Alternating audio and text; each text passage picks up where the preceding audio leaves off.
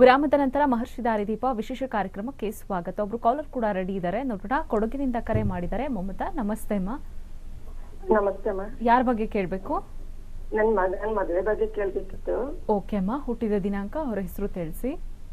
ಇಪ್ಪತ್ತು ಹನ್ನೊಂದು ಸಾವಿರದ ಒಂಬೈನೂರ ತೊಂಬತ್ನಾಲ್ಕು. ಸಮಯ? ಎಂಟು ಐವತ್ತು ಸಾಯಂಕಾಲ.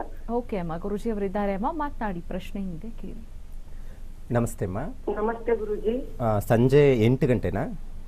ಎಂಟು ಐವತ್ತು. ಎಂಟು ಇಪ್ಪತ್ತು ಓಕೆ ಹುಟ್ಟಿರೋದು ಸರ್. ಐವತ್ತು ಐವತ್ತು ಗುರುಗಳೇ? ಎಂಟು ಐವತ್ತಿಗೆ ರಾತ್ರಿ. ಹೌದೌದು. ಆ, ಹುಟ್ಟಿರೋದು ಭಾನುವಾರ ಮೃಗಶಿರ ನಕ್ಷತ್ರ ಬರುತ್ತೆ ಋಷಭ ರಾಶಿ. ಹೌದೌದು. ಆ, ಮಗನಿಗೆ ಏನಾದರೂ ಈ ಕುಜಶಾಂತಿ ಮಾಡಿಸಿ ಕದ್ಲಿ ವಿವಾಹ ಅಂತ ಮಾಡಿಸಿದ್ರಮ್ಮ? ಏನು ಮಾಡ್ಸಿಲ್ಲ ಗುರುಗಳೇ ಕೇಳ್ಬಿಟ್ಟು ಮಾಡಿಸುವ ಅಂತ. ಅದು ಮಾಡ್ಸಕ್ಕೆ ಹೇಳಿ ಯಾಕಂದ್ರೆ ಸಪ್ತಮ ಅಧಿಪತಿ ದುಸ್ಥಾನದಲ್ಲಿ ರವಿ ಜೊತೆ ಇದ್ದಾನೆ.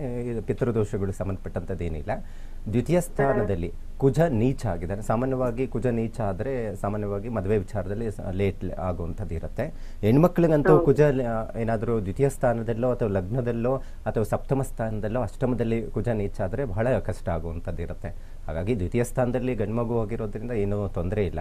ಅದೇ ಶುಕ್ರ ಏನಾದರೂ ನೀಚ ಆಗಿದ್ದು ಅಥವಾ ಕುಜನ್ ಜೊತೆ ಶುಕ್ರ ಇತ್ತು ಅಂದರೆ ಬಹಳ ಕಷ್ಟ ಆಗ್ತಾ ಇತ್ತು. ಹಾಗಾಗಿ ಸಾಮಾನ್ಯವಾಗಿ ಈ ವರ್ಷದಲ್ಲಿ ಮದುವೆ ವಿಚಾರದಲ್ಲಿ ಏಪ್ರಿಲ್ ಒಳಗಡೆ ಗುರುಬಲ ಇದೆ ಋಷಭ ರಾಶಿಗೆ. ಹಾಗಾಗಿ ಏಪ್ರಿಲ್ ಒಳಗಡೆನೇ ಅನುಕೂಲ ಆಗುತ್ತೆ. ಮೇಯ್ನು ಕುಜಶಾಂತಿ ಮತ್ತು ಅದರ ಜೊತೆಗೆ ಸುಬ್ರಹ್ಮಣ್ಯನ ದೇವಸ್ಥಾನಕ್ಕೆ ಸಾಧ್ಯವಾದಷ್ಟು ಒಂದು ಅರ್ಚನೆ, ಒಂದು ದೇವರಿಗೆ ಅಭಿಷೇಕ, ಆ ಥರ ಪೂಜೆ ಅಂತ ಮಾಡ್ತಾ ನಿಮ್ಮ ಪ್ರಯತ್ನ, ಮದುವೆ ವಿಚಾರಕ್ಕೆ ಏನು ಪ್ರಯತ್ನ ಮಾಡ್ತಾ ಇದ್ದೀರಾ?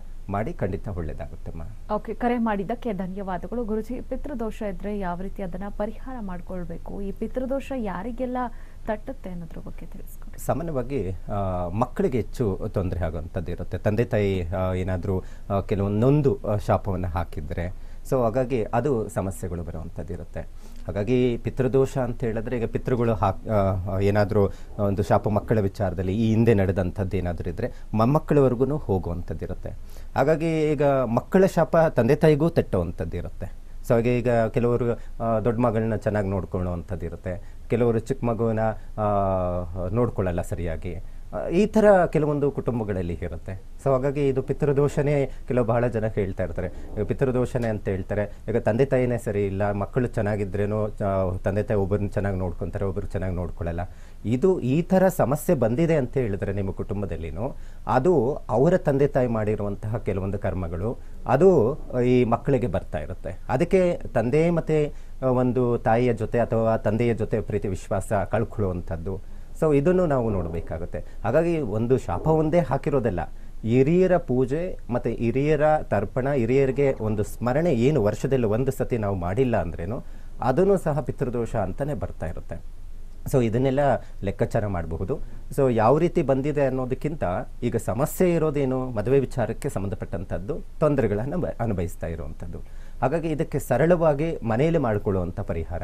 ಈಗ ಹೆಣ್ಣು ಮಗು ಇದೆ ಅಥವಾ ಗಂಡು ಮಗು ಇದೆ. ಈಗ ಗಂಡು ಮಗು ಮದುವೆ ವಿಚಾರದಲ್ಲಿ ಪಿತೃದೋಷದಿಂದನೇ ತೊಂದರೆ ಆಗ್ತಾ ಇದೆ ಅನ್ನುವಂಥದ್ದು ಆ ಜಾತಕದಲ್ಲಿ ಇದೆ ಕನ್ಫರ್ಮ್ ಆಗಿದೆ ಅಂತ ಹೇಳಿದ್ರೆ ಸಾಧ್ಯವಾದಷ್ಟು ಸಹ ಮನೆಯಲ್ಲೇ ಮಾಡ್ಕೊಳ್ಳುವಂಥದ್ದು. ಪಿತೃಗಳಿಗೆ ಪೂಜೆ ಯಾವಾಗ ನಾವು ಸಲ್ಲಿಸುವಂಥದ್ದು. ಈಗ ತರ್ಪಣಗಳು ಬಿಡ್ತೀವಿ. ಅವರ ವರ್ಷದಲ್ಲೋ ಅಥವಾ ಯುಗಾದಿ ಕೆಲವೊಂದು ಹಬ್ಬ ಹರಿದಿನಗಳಲ್ಲಿ ಅವರ ಫೋಟೋ ಇಟ್ಟು ಎಡೆ ಹಾಕೋದು. ಕೆಲವು ಕೆಲವೊಂದು ಶಾಸ್ತ್ರೋಕ್ತವಾಗಿ ತರ್ಪಣ ಬಿಡುವಂಥದ್ದು, ಪಿಂಡ ಪ್ರದಾನ ಮಾಡುವಂಥದ್ದು. ಇದೆಲ್ಲ ಮಾಡ್ತಾ ಇರ್ತಾರೆ. ಅದಕ್ಕೆ ನಾವು ವರ್ಷದಲ್ಲಿ ಒಂದು ಸತಿ ಪಿತೃಪಕ್ಷಗಳು ಹದಿನೈದು ದಿನ ಅಂತ ಹೇಳ್ತೀವಿ. ಭಾದ್ರಪದ ಮಾಸ ನೆಕ್ಸ್ಟ್ ಮಂತ್ ಬರುವಂಥದ್ದು. ಭಾದ್ರಪದ ಮಾಸದಲ್ಲಿ ಹದಿನೈದು ದಿನಗಳಲ್ಲಿ ನಾವು ಪೂಜೆಯನ್ನು ಇಟ್ಟಿರ್ತೀವಿ. ಕೆಲವರು ಮಹಾಲಯ ಅಮಾವಾಸ್ಯೆಯಲ್ಲಿ ಪೂಜೆಯನ್ನು ಮಾಡ್ತಾರೆ. ಸೊ ಕೆಲವರು ಮಾಡೋದೇ ಇಲ್ಲ. ಸೊ ಅವಾಗ ಏನಾಗುತ್ತೆ? ಇವೆಲ್ಲ ದೋಷ ಬರುತ್ತೆ. ಸೊ ಅಂಥ ಸಂದರ್ಭದಲ್ಲಿ ಆಗಲಿ ಅಥವಾ ಸಂಕ್ರಮಣ ಟೈಮಲ್ಲಿ ನಾವು ಪ್ರತಿ ತಿಂಗಳು ನಾವು ಮಾಡ್ತೀವಿ ಅಂದರೆ ಸಂಕ್ರಮಣಗಳು ಅಂತ ಬರುತ್ತೆ. ನಾನು ಬಹಳ ಜನಕ್ಕೆ ಹೇಳ್ತಾ ಇರ್ತೀನಿ. ರವಿ ನೀಚ ಸ್ಥಾನದಲ್ಲಿದ್ದಾನೆ, ಸೂರ್ಯ ಆರಾಧನೆ ಮಾಡ್ಕೊಳ್ಳಿ, ಸಂಕ್ರಮಣ ಟೈಮಲ್ಲಿ ಗೋಧಿ ದಾನ ಕೊಡಿ. ಯಾಕೆ ಇವೆಲ್ಲ ನಾನು ರಿಫರ್ ಮಾಡ್ತೀನಿ ಅಂದರೆ ಅಲ್ಲಿ ರವಿ ಬಲಹೀನನಾಗಿರ್ತಾನೆ ಜಾತಕದಲ್ಲಿ. ಹಾಗಾಗಿ ಹಿರಿಯರ ಅನುಗ್ರಹ ಇರೋದಿಲ್ಲ. ಮದುವೆ ವಿಚಾರದಲ್ಲಿ ಅಷ್ಟೇ. ಹಾಗಾಗಿ ಸಂಕ್ರಮಣ ಅಥವಾ ಅಮಾವಾಸ್ಯೆ ತಿಥಿಯಂದು ಸಾಧ್ಯವಾದಷ್ಟು ಸಹ ಸಿಹಿ ಕುಂಬಳಕಾಯಿ ದಾನ ನಾವು ನೋಡ್ತೀವಿ, ದಶದಾನಗಳು ಅಂತ ಮಾಡ್ತೀವಿ. ಹಾಗಾಗಿ ಆ ದಶದಾನದಲ್ಲಿ ಅತಿ ಪ್ರಮುಖವಾಗಿರುವಂಥ ದಾನ ಯಾವುದು? ಮನೆಯಲ್ಲಿ ಒಂದು ಶುಭ ಕಾರ್ಯ ಆಗೋದಕ್ಕೆ ಅಂತ ಹೇಳಿದ್ರೆ ಸಿಹಿ, ಕುಂಬಳಕಾಯಿ ಮತ್ತು ಗೋಧಿ. ಏನಾದರೂ ಜಾತಕದಲ್ಲಿ ರವಿ, ಶನಿ ಕಾಂಬಿನೇಷನ್ಸ್ ಇದ್ದರೆ ಕಪ್ಪು ಹೆಳ್ಳು ಕೊಡಬೇಕು ಗೋಧಿ ಜೊತೆ. ಕಪ್ಪು ಹೆಳ್ಳು ಗೋಧಿ, ಸಿಹಿ, ಕುಂಬಳಕಾಯಿ. ಬೇಗ ಮದುವೆ ವಿಚಾರದಲ್ಲಿ ಅನುಕೂಲ ಆಗಲಿ ಅಂತ ಒಂದು ದಿನ ಇಟ್ಟು ಪೂಜೆ ಮಾಡಿ ದೇವ್ರ ಮನೇಲಿ. ನಂತರ ಅದನ್ನು ತೆಗೆದುಕೊಂಡು ಹೋಗಿ ಮಗು ಕೈಯಲ್ಲಿ ಟೈಮ್ ಇತ್ತು ಅಂದರೆ ಆ ಮಗು ಕೈಯಲ್ಲೇ ಕೊಡಿಸುವಂಥದ್ದು ಅಥವಾ ಮುಡಿಸಿ ದಾನ ಕೊಡುವಂಥದ್ದು. ಈಗ ಎಲ್ಲ ಕೆಲವೊಂದು ಕೆಲಸಗಳಿಗೆ ಹೋಗ್ತಾ ಇರ್ತಾರೆ ಟೈಮ್ ಇರೋದಿಲ್ಲ. ಈ ಥರ ಪರಿಸ್ಥಿತಿಗಳು ಇರುತ್ತೆ. ಸೊ ಇದನ್ನು ನೀವು ಪರಿಹಾರವನ್ನು ಮಾಡ್ಕೋಬಹುದು.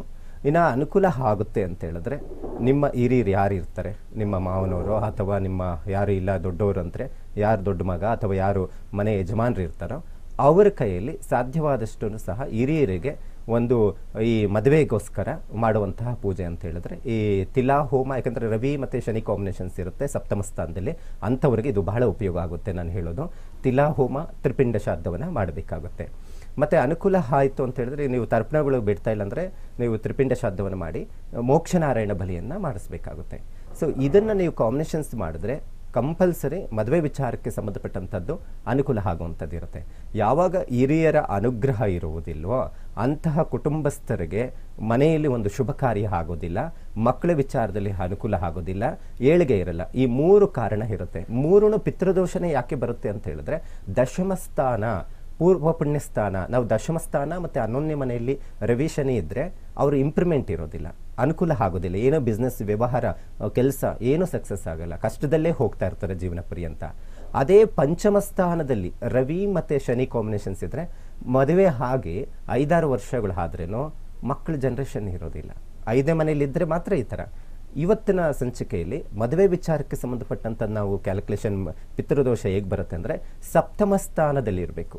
ಅಂದರೆ ಲಗ್ನದಿಂದ ಜಾತಕದ ಕುಂಡಲಿಯಲ್ಲಿ ಲೆಕ್ಕಾಚಾರ ಮಾಡಿದ್ರೆ ಲಗ್ನದಿಂದ ಏಳನೇ ಮನೆಯಲ್ಲಿ ರವಿ ಮತ್ತು ಅದರ ಜೊತೆಗೆ ಶನಿ ಕಾಂಬಿನೇಷನ್ಸ್ ಇತ್ತು ಅಂದರೆ ಈ ರೀತಿ ಸಮಸ್ಯೆಗಳು ಬರುತ್ತೆ ಅನ್ನುವಂಥದ್ದು ತಿಳ್ಕೊಬೋದು. ಅದನ್ನು ತಾಯಿ ಕಡೆಯಿಂದ ಪಿತೃಗಳು ದೋಷ ಬಂದಿದೆಯೋ ಅಥವಾ ತಂದೆ ಕಡೆಯಿಂದ ಬಂದಿದೆಯೋ, ಇದನ್ನು ಲೆಕ್ಕಾಚಾರ ರಾಹು, ಕೇತು ಮತ್ತು ಕುಜ ಈ ಥರ ಕಾಂಬಿನೇಷನ್ಸ್ ಅಥವಾ ದ್ವಿತೀಯ ಸ್ಥಾನಾಧಿಪತಿ ಏನಾದ್ರ ಜೊತೆ ಕೆಲವೊಂದು ಎರಡೇ ಗ್ರಹಗಳು ಇರೋದಿಲ್ಲ. ರವಿ ಮತ್ತು ಶನಿ, ಅದ್ರ ಜೊತೆ ಕುಜ ಇರ್ತಾನೆ ಅಥವಾ ರಾಹು ಇರ್ತಾನೆ ಅಥವಾ ಕೇತು ಗ್ರಹ ಇರುತ್ತೆ. ಯಾವುದೋ ಒಂದು ಕಾಂಬಿನೇಷನ್ಸ್ ಇರುತ್ತೆ ಅಥವಾ ನಾಲ್ಕು ಗ್ರಹಗಳು ಇರುತ್ತೆ. ರವಿ ಜೊತೆ ಇನ್ನೆರಡು ಗ್ರಹಗಳು ಜಾಸ್ತಿ ಇರುತ್ತೆ.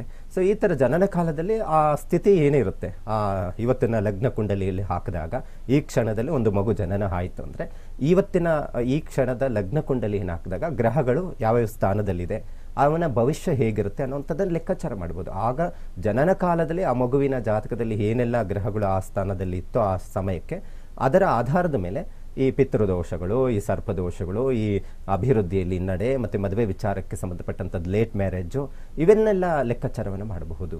ಯಾಕಂತ ಹೇಳಿದ್ರೆ ಅಷ್ಟು ನಿಖರವಾಗಿ ಜ್ಯೋತಿಷ್ಯದಲ್ಲಿ ಸೈಂಟಿಫಿಕ್ ಆಗಿ ಹೇಳಲಿಕ್ಕೆ ಸಾಧ್ಯ ಆಗುತ್ತೆ. ಯಾಕಂತ ಹೇಳಿದ್ರೆ ಅಷ್ಟು ನಿಖರವಾಗಿ ಹೇಳುವಂಥದ್ದು ಆ ಸಮಯ ಆಧಾರ, ಲಗ್ನದ ಆಧಾರದ ಮೇಲೆ ತಿಳ್ಕೊಬೋದು. ಭಾಳ ಜನ ಹೇಳ್ತಾರೆ ಅವ್ರಿಗೆ ಆಶ್ಚರ್ಯ ಆಗುತ್ತೆ. ಕೆಲವರಿಗೆಲ್ಲ ಏನು ಗುರುಗಳು ಇದ್ದಂಗೆ ಇರೋ ರೀತಿಯಲ್ಲಿ ಹೇಳ್ಬಿಟ್ರಲ್ಲ, ನನ್ನ ಮಗಳು ಹೀಗೆ, ಗುಣ ಹೀಗೆ, ಆ ಗುಣ ಲಕ್ಷಣಗಳು ಹಾಗೆ ಹೇ ಕರೆಕ್ಟಾಗಿ ಹೇಳಿದ್ರು ಅಂತ ಹೇಳಿದ್ರೆ ಆ ಲಗ್ನದ ಆಧಾರದ ಮೇಲೆ ಹೇಳಬಹುದು. ಮುಂದಿನ ದಿನಗಳಲ್ಲಿ ಆ ಮಗು ವಿದ್ಯಾಭ್ಯಾಸದಲ್ಲಿ ಹೇಗಿರುತ್ತೆ, ಮದುವೆ ವಿಚಾರದಲ್ಲಿ ಹೇಗೆ ವೈವಾಹಿಕ ಜೀವನ ಚೆನ್ನಾಗಿರುತ್ತೆ ಇದನ್ನು ಸಹ ಜ್ಯೋತಿಷ್ಯ ಶಾಸ್ತ್ರದಲ್ಲಿ ತಿಳ್ಕೊಬಹುದು. ಹಾಗೆ ಈ ಮದುವೆ ವಿಚಾರಕ್ಕೆ ಹೆಚ್ಚು ತೊಂದರೆ ಪಿತೃದೋಷನೂ ಕಾರಣ ಆಗುತ್ತೆ. ನಿಮ್ಮ ಕುಟುಂಬಸ್ಥರಲ್ಲಿ ಯಾರಿಗೂ ಮದುವೆ ಆಗ್ತಾ ಇಲ್ಲ. ನಾಲ್ಕೈದು ಜನ ಇದ್ದಾರೆ. ಈಗಾಗಲೇ ಭಾಳ ಜನ ಬರ್ತಾ ಇರ್ತಾರೆ. ಐವತ್ನಾಲ್ಕು ಏಜ್ ಆಗಿದೆ ದೊಡ್ಡ ಮಗನಿಗೆ. ಮಗಳಿಗೆ ಮೂವತ್ತ್ನಾಲ್ಕು ಈ ಥರ ಏಜ್ ಆಗಿರುವಂಥದ್ದು. ಸೊ ಈ ಏಜು ಅಷ್ಟು ಡಿಫ್ರೆನ್ಸ್ ಇರುವಂಥದ್ದು, ಅಷ್ಟು ಲೇಟ್ ಮ್ಯಾರೇಜ್ ಆಗಿದೆ. ಇನ್ನು ಮದುವೆನೂ ಆಗ್ತಾ ಇಲ್ಲ ಅನ್ನೋವಂಥವ್ರು ಇದ್ದಾರೆ ಅಲ್ವಾ? ಅದಕ್ಕೆ ಕಾರಣ ಪಿತೃಗಳ ಅನುಗ್ರಹ ಇರೋದಿಲ್ಲ. ಕೆಲವರು ಹೇಳ್ತಾರೆ ಗುರುಗಳೇ, ನಾನು ಹೋದೆ, ಮಾಡಿಸ್ದೆ, ಇನ್ನೂ ಆಗಲಿಲ್ಲ ಅಂತ. ಅದು ನಾವು ಇವತ್ತು ಯಾವುದೋ ಒಂದು ದೇವ್ರ ಪೂಜೆ ಮಾಡ್ತೀವಿ, ಒಂದು ದೇವಸ್ಥಾನಕ್ಕೆ ಹೋಗ್ತೀವಿ. ಗೊತ್ತೋ ಗೊತ್ತಿಲ್ದಿರ ನಾವು ಮಂತ್ರ ಹೇಳೋದು, ಕ್ರಿಯಾ ರೂಪದಲ್ಲಿ, ಮಂತ್ರ ರೂಪದಲ್ಲಾಗಲಿ ಏನೋ ಹೇಳೋದು ತಪ್ಪಾಯಿತು ಅಥವಾ ಹೇಳಿ ಸರಿ ಇಲ್ಲ ಅಂತ ಹೇಳಿದ್ರೇನೋ, ಅದನ್ನು ಕ್ಷಮಿಸು ಅಂತ ಹೇಳಿ ಒಂದು ಪೂಜೆ ಮಾಡುವಾಗ ಒಂದು ಸಂಕಲ್ಪ ಮಾಡಿಬಿಡ್ತೀವಿ. ಆದರೆ ಈ ಪಿತೃಗಳು ಹಾಗಲ್ಲ. ಶಾಸ್ತ್ರೋಕ್ತವಾಗಿ ಸರಿಯಾಗಿ ಮಾಡಿದ್ರೇ ಫಲ ಲಭ್ಯ ಆಗೋದು. ನೀವು ಸುಮ್ಮನೆ ಏನೋ ಹೋದ್ವಿ ಅಲ್ಲೆಲ್ಲೋ ನದಿ ತೀರದಲ್ಲಿ ಹೋದ್ವಿ, ಅಥವಾ ಯಾವುದೋ ಒಂದು ಪುಣ್ಯಕ್ಷೇತ್ರ ಹೋದ್ವಿ ಎಲ್ಲರಿಗೂ ಎಲ್ಲರೂ ಇದ್ದರು ಗುಂಪಲ್ಲಿ ಎಲ್ಲ ಗೋವಿಂದ ಅಂತ ಹೇಳಿ ಬಂದರೆ ಆಗೋದಿಲ್ಲ. ಶಾಸ್ತ್ರಬದ್ಧವಾಗಿ, ನೀಟಾಗಿ ಯಾರು ಮಾಡ್ತಾರೋ ಅವ್ರಿಗೆ ಹಿರಿಯರಿಗೆ ಕರ್ತವ್ಯಪೂರ್ವಕವಾಗಿ, ಇವತ್ತು ನೋಡಿ ಎಷ್ಟೋ ಜನ ಹಿರಿಯರು ಪೂಜೆ ಮಾಡುವಾಗ ಒಂದು ಆಹಾರನೂ ಏನೂ ಅವ್ರಿಗೆ ಏನೇ ಇರಲಿ ಆರೋಗ್ಯದಲ್ಲಿ, ಒಂದು ದಿನ, ಒಂದು ಕಂಪ್ಲೀಟ್ ಆಗೋವರೆಗೂ ಅರ್ಧ ದಿನ ಅವ್ರ ಕಾರ್ಯ ಮುಗಿಯೋವರೆಗೂ ಆಹಾರವನ್ನು ಸೇವ್, ಸೇವಿಸಲ್ಲ. ಅಷ್ಟು ನಿಖರವಾಗಿ ಇದ್ದು ಅದು ಅಷ್ಟು ಶಾಸ್ತ್ರೋಕ್ತವಾಗಿ ಮಾಡ್ತಾರೆ. ಅದನ್ನು ನೀಟಾಗಿ ಮಾಡಬೇಕು ಕರ್ತವ್ಯ. ಯಾವಾಗ ನಾವು ಆ ರೀತಿ ಮಾಡೋದ್ರಿಂದ ಮದುವೆ ವಿಚಾರದಲ್ಲಿ ಹೆಚ್ಚು ತೊಂದರೆಗಳನ್ನು ಅನುಭವಿಸ್ತಾ ಇದ್ದೀರೋ ಅದು ಪರಿಹಾರವನ್ನು ತೆಗೆದುಕೊಳ್ಳೋದಕ್ಕೆ ಸಾಧ್ಯ ಆಗುತ್ತೆ. ಇಲ್ಲ ಅಂತ ಹೇಳಿದ್ರೆ ನೀವು ಯಾವುದೇ ಪೂಜೆ, ಏನೇ ಯಾವುದೇ ದೇವಸ್ಥಾನಗಳಿಗೆ ಹೋದ್ರೇನೋ ಯಾವುದೂ ಫಲವನ್ನು ಲಭ್ಯ ಆಗೋದಿಲ್ಲ. ಇದನ್ನು ತಿಳ್ಕೊಂಡು ಪರಿಹಾರವನ್ನು ಮಾಡ್ಕೋಬೇಕು. ಸರಳವಾಗಿ ಮಾಡ್ಕೊಳ್ಳೋವಂಥದ್ದು ನಾನು ಹೇಳಿದಂಥ ಸಂಕ್ರಮಣ ಮತ್ತು ಅಮಾವಾಸ್ಯೆ ದಿವಸ ದಾನವನ್ನು ಕೊಡೋದು. ಅಥವಾ ಗೋಮಾತೆಗೆ ಹೆಣ್ಣುಮಗು ಆದರೆ ಪಿತೃದೋಷ ಇತ್ತು ಅಂದರೆ ನೀವು ಸತತವಾಗಿ ನಿಮ್ಮ ಜನ್ಮ ನಕ್ಷತ್ರ ಮತ್ತು ಅಮಾವಾಸ್ಯ ತಿಥಿ ಆಗಬಹುದು, ಸಂಕ್ರಮಣ ಆಗಬಹುದು. ಗೋಮಾತೆಗೆ ಏನಾದರೂ ಆಹಾರ ರೂಪದಲ್ಲಿ ಕೊಡುವಂಥದ್ದು, ಹುಲ್ಲು ಅಥವಾ ಏನಾದರೂ ಈ ಬಾಳೆಹಣ್ಣು ತಿನ್ನಿಸುವಂಥದ್ದು.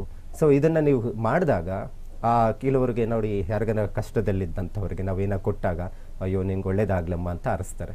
ಅದೇ ರೀತಿ ಯಾರಾದರೂ ಆಹಾರನೇ ಇಲ್ಲ ಇವತ್ತು ಎಷ್ಟೋ ಜನ ಕಷ್ಟದಲ್ಲಿದ್ದಾರೆ. ಅಂಥವರಿಗೆ ನಾವು ಸಹಾಯ ನಮ್ಮ ದೋಷಗಳು ಏನೋ ಸಮಸ್ಯೆ ಇದ್ದರೆ ಅದನ್ನು ನಾವು ದಾನ ರೂಪದಲ್ಲಿ ಕೊಟ್ಟಾಗ ಅವರ ಸ್ಮರಣೆ ಅವರ ಒಂದು ಏನು ಬ್ಲೆಸ್ಸಸ್ ಇರುತ್ತೆ ಅನುಜ್ಞೆ ಅದು ನಮಗೆ ಲಭ್ಯ ಆಗುವಂಥದ್ದು ಇರುತ್ತೆ. ಸೊ ಈ ಪಿತೃದೋಷಕ್ಕೂ ಅವರ ಪ್ರಾರ್ಥನೆ ಪೂಜೆ ಸಲ್ಲಿಸೋದ್ರಿಂದ ಮದ್ ಮದುವೆ ವಿಚಾರದಲ್ಲಿ ಯಾವುದೇ ರೀತಿಯಾದಂಥ ತೊಂದರೆಗಳು ಬರೋದಿಲ್ಲ. ಓಕೆ ಗುರುಜಿ ಇವತ್ತಿನ ಕಾರ್ಯಕ್ರಮದಲ್ಲಿ ಸಾಕಷ್ಟು ಮಾಹಿತಿಯನ್ನು ತಿಳಿಸ್ಕೊಟ್ಟಿದ್ದೀರಾ. ಧನ್ಯವಾದಗಳು. ಹರೇ ಶ್ರೀನಿವಾಸ. ನೋಡುದ್ರಲ್ಲ ವೀಕ್ಷಕರೇ, ಇನ್ನು ಗುರೂಜಿಯವರನ್ನ ನೀವು ನೇರವಾಗೂ ಕೂಡ ಭೇಟಿ ಮಾಡಬಹುದು. ಸಂಪರ್ಕಿಸಬೇಕಾದ ವಿಳಾಸ ಕೂಡ ಈ ರೀತಿ ಇದೆ. ನೋಟ್ ಮಾಡಿಕೊಳ್ಳಿ. ಭಾರತೀಯ ಸಂಪ್ರದಾಯ ಟ್ರಸ್ಟ್ ನಂಬರ್ ನಲವತ್ನಾಲ್ಕು ಬಾರ್ ಬಂದು ನಾಲ್ಕನೇ ಕ್ರಾಸ್ ಸಂಪಿಗೆ ರಸ್ತೆ ಮಲ್ಲೇಶ್ವರಂ, ಬೆಂಗಳೂರು. ಪ್ರತ್ಯಂಗಿರ ಹೋಮ ಹಾಗೂ ಯಂತ್ರಕ್ಕಾಗಿ ಸಂಪರ್ಕಿಸಿ ಎಂಟು ಒಂದು ಐದು ಒಂದು ಎಂಟು ಒಂದು ಎರಡು ಮೂರು ನಾಲ್ಕು ಐದು. ನೇರ ಭೇಟಿಗಾಗಿ ಮೊಬೈಲ್ ನಂಬರ್ ಒಂಬತ್ತು ಆರು ಒಂದು ಒಂದು ಒಂದು ಒಂದು ಒಂದು ಆರು ಆರು ಒಂದು. ಇದು ಇವತ್ತಿನ ಮಹರ್ಷಿ ದಾರಿದೀಪ ವಿಶೇಷ ಕಾರ್ಯಕ್ರಮ ಬಿ ಟಿವಿ ಇದು ಭರವಸೆಯ ಬೆಳಕು.